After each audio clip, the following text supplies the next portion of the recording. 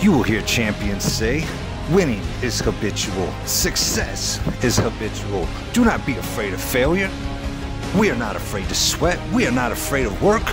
We are not afraid to fall because we will stand up taller again and again until we win. Nothing worth having in this world is free. And I'm not going to lie to you and tell you it comes easy. You have to stand up and fight for what you want. When you are pushed, you gotta push back harder. We do not submit. We do not surrender. We are lions. It is time for you to stand up and rise to the challenge.